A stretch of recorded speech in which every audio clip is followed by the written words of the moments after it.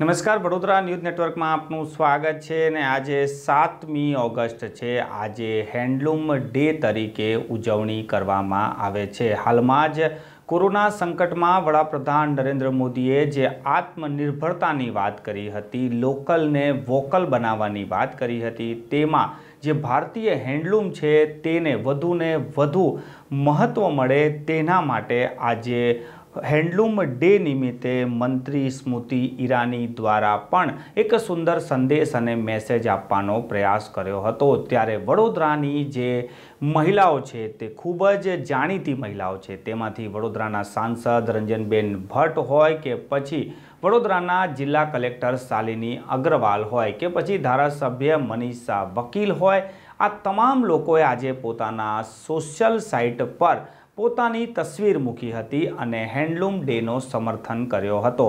રંજનબેન ભટ્ટે પોતાના social media Facebook પર એક ફોટો શેર કર્યો છે અને આ ફોટામાં વડોદરાના જિલ્લા કલેક્ટર શાલિની અગ્રવાલ, મનીષાબેન વકીલ અને પોતે સાંસદ રંજનબેન ભટ્ટ છે જે સાડી પહેરેલી છે અને આ સાડી હેન્ડલૂમ એટલે કે હસ્તથી તૈયાર કરેલી સાડી છે. તેનું તેઓ પ્રમોટ કરી રહ્યા છે.